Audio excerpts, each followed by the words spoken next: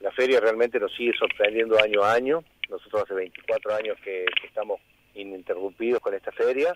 Realmente yo creo que la feria y Río Cuarto nos, sorprende porque sin lugar a duda en, las ferias artesanales se mide mucho de lo sociocultural como para que una feria de artesanía pueda llegar a tener la, la trayectoria que tiene esta muestra. Y bueno, los artesanos, a pesar de la crisis y de todo lo que está viviendo nuestro país, están apostando de nuevo a Río Cuarto, están haciendo un traslado desde, no sé, de Salta, de Tucumán, de La Rioja, de Catamarca, del Bolsón, de Bariloche, eh, no sé, tenemos artesanos de todo el país. Y bueno, este año estamos apostando un poco a que, como todos los años, nosotros hemos tenido unas entradas muy accesibles para que todo el público, toda la familia pueda ir a la feria. Este año vamos a cobrar 100 pesos los días sábado 4 y el domingo 5. Y vamos a cobrar, eh, vamos a hacer dos por uno el jueves y el viernes como para que todo el mundo pueda visitar la muestra.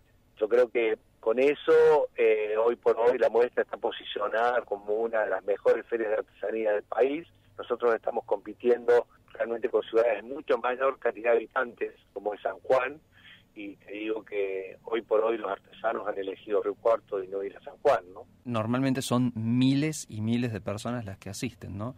Sí, eh, nosotros nosotros tenemos un plafón de entre años muy buenos. Bueno, nosotros sabemos que jugamos con un factor que no lo puede manejar nadie, que es el nosotros tenemos un evento al aire libre.